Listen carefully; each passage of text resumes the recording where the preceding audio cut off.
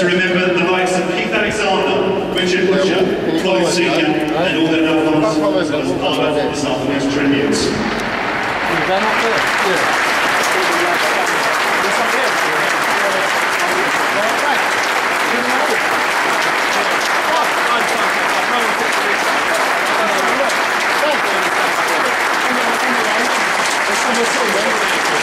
Thank you.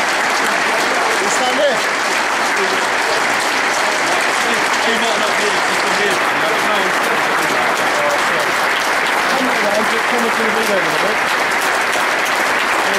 ね。